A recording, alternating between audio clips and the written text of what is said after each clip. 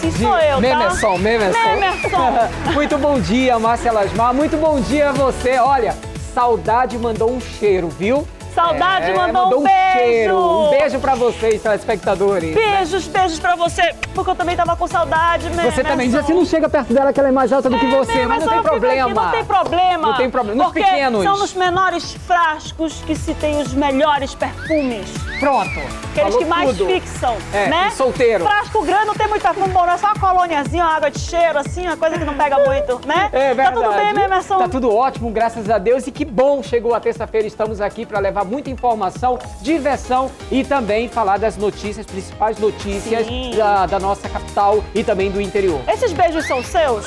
Sim, um beijo pra Ana Júlia, Carol e a Bela lá do hospital. Platão Araújo! Do Hospital de Pronto Socorro Platão Araújo, um Obrigado beijo. pela audiência. Olha aí o Peixinho, beijo. coração Beijo, de Peixinho. pra todos vocês aí do Platão Araújo, que trabalham todos os dias, mesmo em condições difíceis de trabalho, mas estão lá cumprindo a missão que é trazer uma saúde com qualidade pra gente. Quem dera se todo mundo tivesse a mão de obra, se tivesse a força e a mão de obra que vocês têm. Um grande beijo pra todos vocês. Quem foram as meninas que encontrou lá, não sei onde foram essas? Foram, foram essas também, Ficou né? nervoso, não conseguiu bater foto É, com elas, é, né? Pode dizer, mas não, né? Ficou com vergonha, bichinho. Eu sou olha. tímido. Ele é Eu tímido. sou tímido. Ele Pronto. só não é tímido pra trabalhar aqui, gente. Ele não, é tímido. A comunicação não, mas Não eu é, sou né? tímido pra outras coisas também. Ah, tá né? bom. Se for crush, crush, né? Por favor, me fala, porque eu não vou perceber. Ah, não né? vai perceber, Não não, vou né? Eu- Emerson é um, é um, é um cavalheiro. Sou. Emerson é uma pessoa super sensível. Eu sou do tipo que manda flores também. Ai, que Dizem que tá fora de moda, né? Mas não, eu não, mano, não tá nada de fora de moda, não. Manda flor, tá?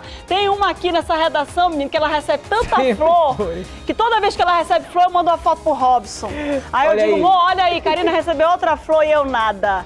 Olha! Né? A gente fica, dá até intriga em casa, menina, a flor dessa menina. Vou te falar, Karina Amazona, que tá aqui com a florzinha Pronto. dela, que é a Manuzinha. Um beijo, Cá.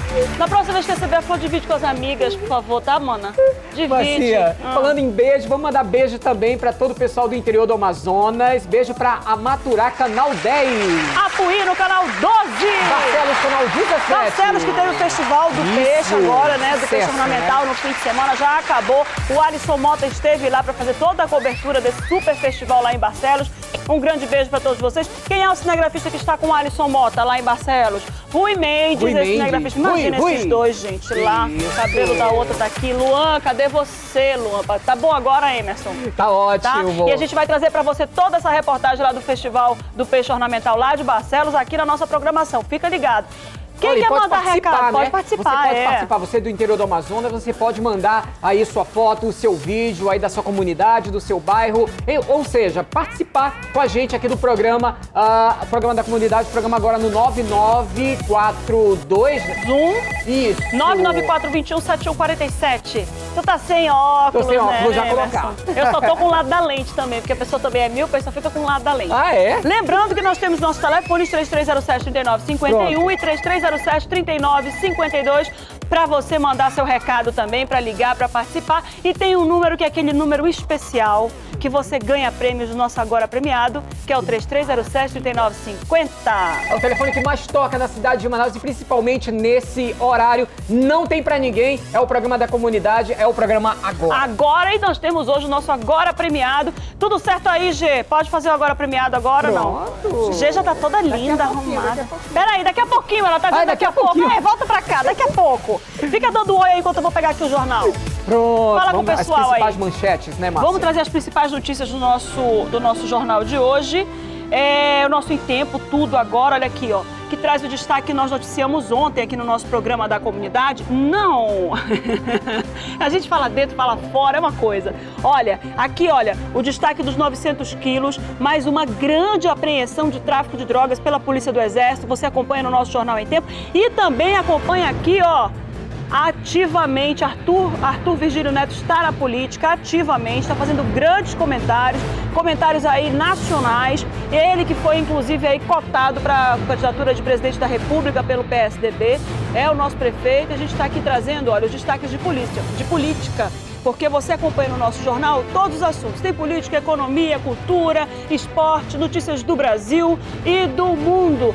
Só 50 centavos e você fica muito bem informado. Aqui tá bom? Aqui tá lindo. Olha, lembrando você que tem do outro lado que a gente sempre tem o nosso minuto. Esses dias a gente não está recebendo o nosso minuto, mas você sempre fica bem, muito bem informado com o nosso minuto é, lá da, da redação do nosso, da nossa plataforma digital, onde você também acompanha todas as notícias pelo www.emtempo.com.br. É o nosso portal em tempo para você ficar muito bem informado. Tá aqui, olha, www.emtempo.com.br. Tem toda uma equipe é, trazendo as notícias, as informações no tempo que ela acontece. Você sabe que nessa era digital a gente não pode ficar para trás e fica todo mundo trabalhando 24 horas por dia, 7 dias na semana, para poder deixar você muito bem informado. Tá aqui o nosso jornal, 50 centavos apenas, e no domingo custa só um real. Fique bem informado com o nosso jornal em tempo. Agora, se você quer ganhar prêmios, você fala com o Emerson Santos. Isso mesmo, Massinha. Olha só quem tá aqui arrumando tudo. A Geane. bom dia, bom dia Elefantes Importadora. Tudo bom, querida? Tudo, bom, tudo ótimo. Que bom te receber na Terça da Beleza, né? Isso, muita coisa bonita Olha só. para as mulheres, muita novidade para o carnaval, muito brilho, muito glamour para as mulheres arrasarem agora nesse carnaval.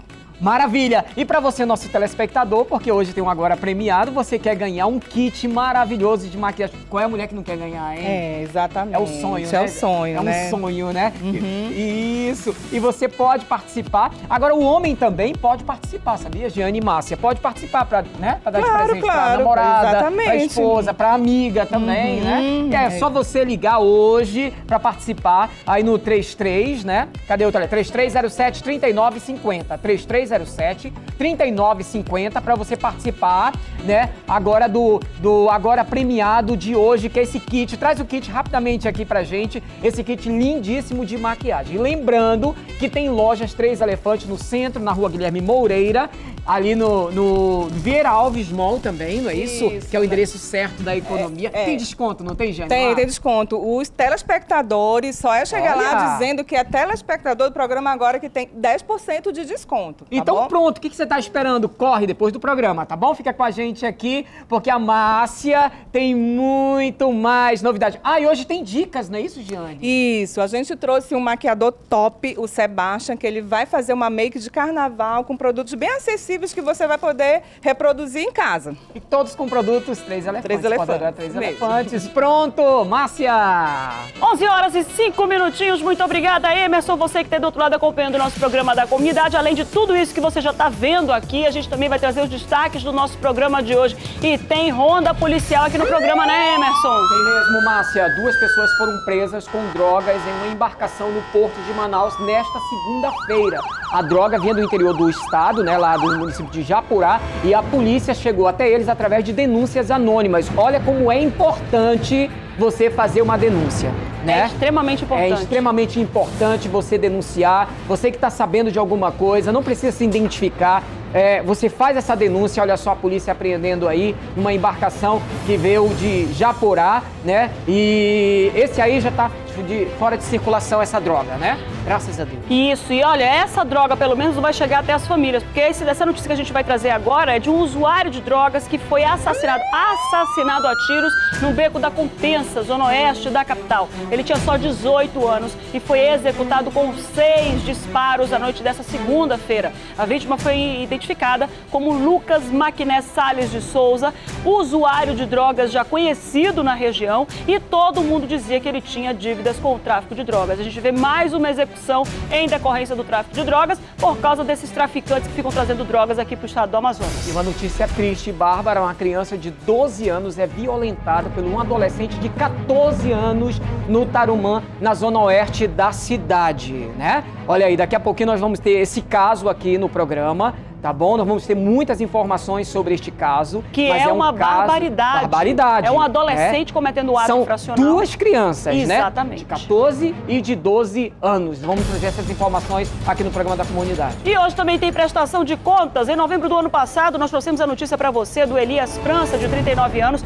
que foi encontrado morto na casa dele por estrangulamento. Tá aí o, Eli, o Elias França, que você está acompanhando. E, na ocasião, a polícia suspeitou de latrocínio. Você está acompanhando agora agora as imagens do suspeito, né?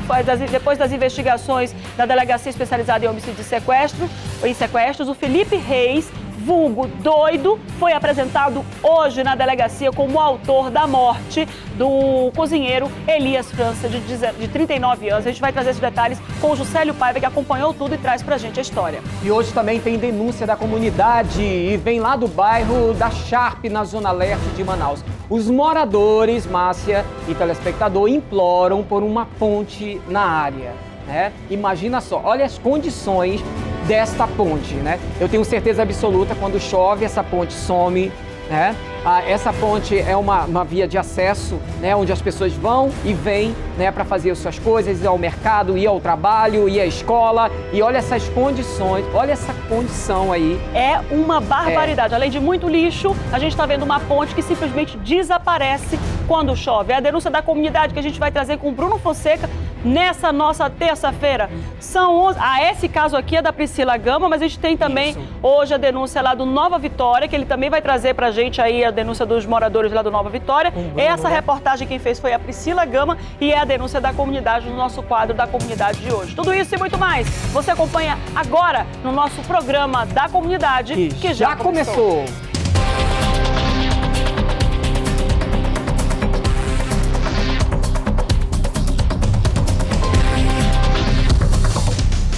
E a gente já começa o nosso programa da comunidade, Emerson, com uma notícia muito triste. Um adolescente de 14 anos foi apreendido na madrugada de hoje, suspeito de abusar sexualmente de uma criança de 12 anos. O caso aconteceu lá no Tarumã, na zona oeste da cidade. A vítima está sedada lá na UPA Campos Sales, depois de ter ingerido um medicamento da tia. Olha só que desenrolar, né? Que história triste que acaba desenrolando aí é, numa sedação. Suspeita-se que a criança tenha tentado cometer, cometer um suicídio. suicídio né? E o Juscelio Paiva foi lá conferir direitinho essa história toda e é ele que conta pra gente aqui na tela. Juscelio.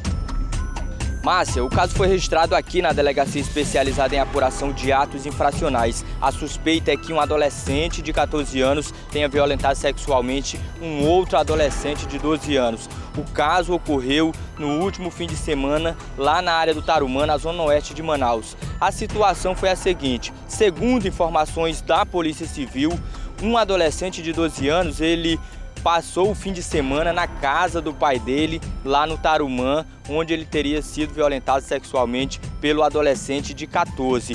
Ontem ele voltou para a casa da tia à noite, a casa da tia na Redenção, na zona centro-oeste aqui de Manaus, e teria tomado o medicamento da tia para pressão.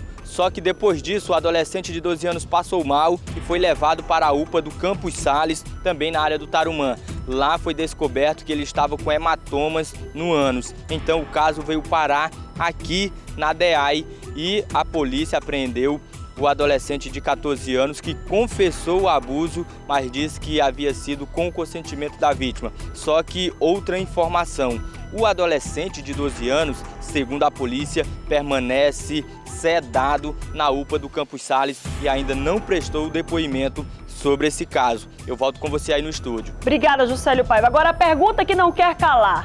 Sabe por que, que a nossa legislação determina, Emerson, que crianças não têm discernimento para dar consentimento a relações sexuais exatamente porque elas não têm noção do que é.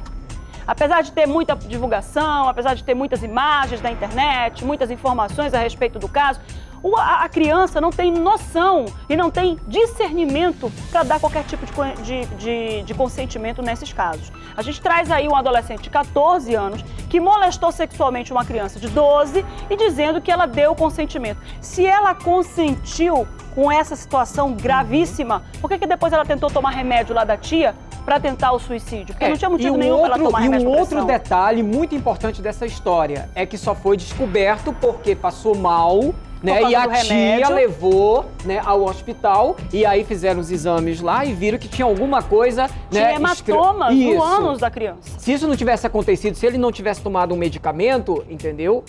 E aí não existe essa história de consentimento. Criança não pode consentir isso. Adolescente não pode consentir. E a gente traz aí esse alerta, principalmente para os jovens lá de 16, 17 anos, né? Que já estão com a libido ali aflorada, já estão querendo namorar. E aí pega uma menina lá de 14, 13. Não, ela consentiu, porque nós sabemos que hoje ah, as pessoas evoluem muito rápido e tem muita criança de 12, 13 anos que já tem um corpão, já é grande. Independente disso, a cabeça tem 12 anos e não tem que consentir nada. E qualquer adulto com 18 anos ou menor de 17 anos que tiver qualquer tipo de relacionamento íntimo com menores de 18 anos, ele vai cometer ato infracional se for menor e se for adulto vai cometer crime. Então não tem essa história de consentimento e é muito importante que os pais chamem os filhos e deixem isso claro para eles. Deixem Fiquem isso claro, também, fiquem né? Com- atentos. Com, relação a isso, à internet, há, há muito acesso à informação. Né? Hoje você pega no celular, você tem todas as informações possíveis e imagináveis. Imagináveis. Por exemplo, uma criança ouve uma palavra diferente, ela vai lá, pesquisa, ela já começa a descobrir um outro mundo. Então, atenção, pais, fique de olho na, edu- na educação que você está dando para os seus filhos. Principalmente nos Veja o- limites. os limites, veja o que eles estão fazendo. Olha, tem criança que dorme de madrugada, né? Tem criança que dorme de madrugada, 5, 4 horas da manhã. Olhando o entendeu? celular. Olhando o celular, diz que joguinho, né? Mas olhando Não redes tem, sociais, tem né? Sendo aliciada por, por pedófilos na, na, na internet. na, Ou na seja, internet. perdido. E perdido e perde mesmo a pessoa. Olha, são 11 horas e 13 minutos. Deixa eu trazer aqui uma, uma, uma notícia para você, principalmente a gente que tem estradas que são os nossos rios. É muito importante a gente trazer essa ressalva aqui, viu, Emerson? Porque a gente ouve muito falar em acidente de trânsito, né? Que você precisa ter cuidado com as leis de trânsito, mas nós também precisamos ficar alerta aos nossos, às nossas estradas de água. O Amazonas tem uma característica que outros estados não têm, que é todo ele entrecortado por braços de água e, consequentemente, tem navegação nos nossos rios. E olha só esse vídeo que a gente vai trazer para você. Nós, Nós recebemos, recebemos, né? isso, o vídeo que mostra a colisão entre duas embarcações, Aí, ó, Emerson. no vídeo. Olha, Foi lá no Paraná, do Caburi, ó. olha aí, olha aí essa situação aí acontecendo. Isso acontece, Márcia? Olha aí. Olha o momento, olha aí. Olha o momento. E conforme relatos de passageiros, a colisão aconteceu na tarde de ontem e foi entre essas duas embarcações. Você está acompanhando aí as imagens? Por falta de prudência. São duas linhas de Inhamundá que fazem essa viagem até Parintins.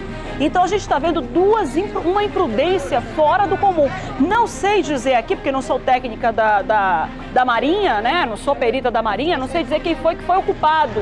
Mas a gente vê duas embarcações colidindo. Olha só o perigo. Já veio de lado ela, né? É, ó, bateu de lado A velocidade também, né? Leva em conta. e eu tenho a impressão que essa embarcação ela tá um pouco pesada, não sei, parece que ela tá um pouco pesada, a gente precisa tentar com é, relação a isso Márcia, também. A maioria dessas embarcações, esse motor que chamam, chamavam de motor, hoje são embarcações, elas carregam motos, às vezes até carros, né? Até veículos, né? Carregam é, mantimentos, né? Muita coisa. E aí a embarcação fica muito pesada e aí o- o- o- essa velocidade também eu acho que não, não- não compete com, com a realidade da- desse, desse leito, não. E olha, quem está navegando pelos nossos rios, e são muito, é muito comum fazer essas viagens de motor, como o Emerson está dizendo aí, e eu que sou, que tenho muitos parentes em Santo Antônio dos Sais, já fiz viagens de barco também, já fui até Santo Antônio dos Sais de barco, já voltei de barco, são cinco dias de ida e três dias de volta. É muito importante que se tenha esses cuidados durante essa navegação, porque além da embarcação, além da gente estar falando da carga de carros, de motos, de mala, de até produtos agrícolas, né, que estão sendo levados aí de um município para o outro, nós estamos falando de vidas. São almas que estão aí dentro, são pessoas que estão aí dentro e a gente precisa ter esse cuidado redobrado, principalmente as pessoas que estão é, embarcadas. Tem que verificar o número de coletes, tem que verificar se não está sobrecarregada a embarcação, nada de negócio de ter peninha não. Chama a Marinha e manda a Marinha avaliar. Essa embarcação está muito pesada, essa embarcação tem o número ideal de coletes salva-vidas para todo mundo, para as crianças, para os adultos, para os idosos.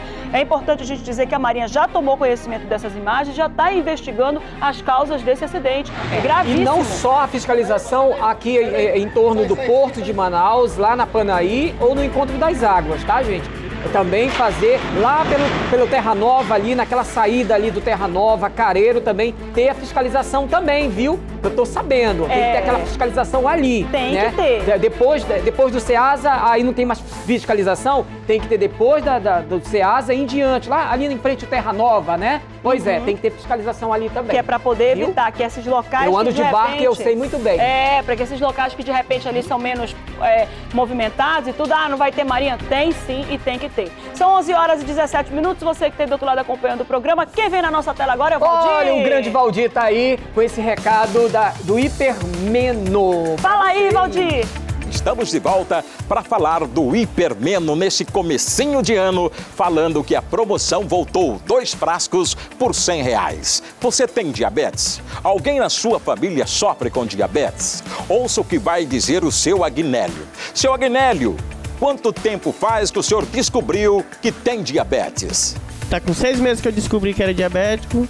Passei dois meses sem tomar hipermemo, ela não regulava. E depois que eu passei a tomar o hipermemo, que tá com quatro meses, foi que regulou. As minhas pernas eram inchadas, os meus pés, não podia nem pisar direito no chão, que doía tudo. Os meus braços, ficava aquele formigamento todo no meu corpo. Se eu levantasse os braços assim, era tudo dolorido. E depois que eu comecei a tomar o hipermemo, aí aliviou. Isso é Hipermeno, é resultado garantido. Por que o Hipermemo faz tudo isso pela pessoa?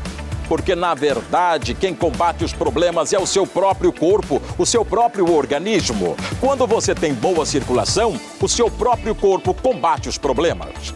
Compre o seu Hipermeno agora na promoção. Dois frascos por 100 reais. Ligue agora e receba em casa. 99430 4646. 99430 4646. A loja fica ali, na Floriano Peixoto, número 215, no centro de Manaus. O que, é que tem amanhã, Emerson Santos? Olha, amanhã é quarta-feira, amanhã é dia de alegria, o sucesso estará nas ruas, lá no bairro Gilberto Mestrinho, é isso? Na zona leste de Manaus. Amanhã tem na minha casa agora. É isso mesmo, assim? É assim, ó. É, a pessoa Pronto, dança- assim, ó, vai. Oi.